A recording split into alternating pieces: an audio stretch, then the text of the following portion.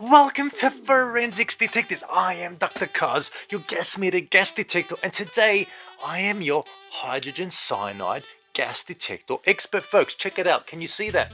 It is a hydrogen cyanide gas detector from 0 to 50 parts per million with a 0.1 ppm resolution. You see that, folks? It's a great little unit.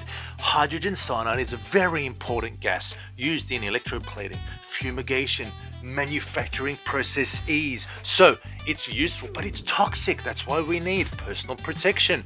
We need to protect others from inhalation of hydrogen cyanide. OSHA, NIOSH, and others have various Salam recommended exposure levels that we can set or put lower as you wish and you have your buzzer, your LED and your vibration alarms that will warn you to take corrective action. Has a massive battery 24 hours on one charge and most of all very important is that it's calibrated to USA NIST traceable sources here in California here in our labs at forensics detectors.